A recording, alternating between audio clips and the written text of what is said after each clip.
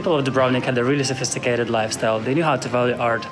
They became extremely rich because they were good bargainers, they were good sailors, and as well as uh, good diplomats.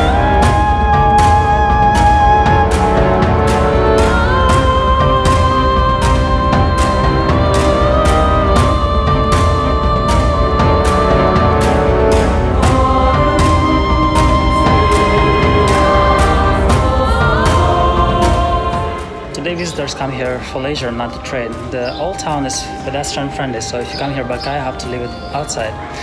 So the old town is surrounded by medieval walls. Of course, there's aristocratic Baroque and elegant palazzi.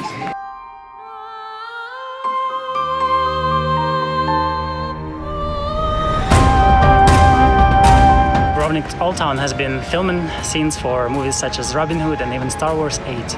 But of course, crazy, extreme popularity it gave him the movie Game of Thrones, which I'm a biggest fan of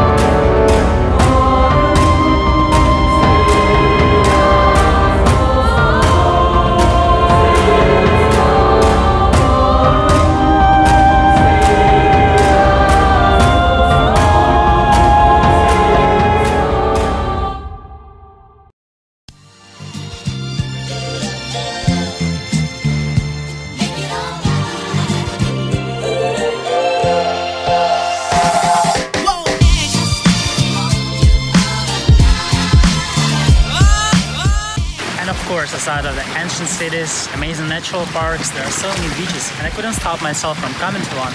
There is one in Omiš, another one in Split and Dubrovnik, and you can even do some fishing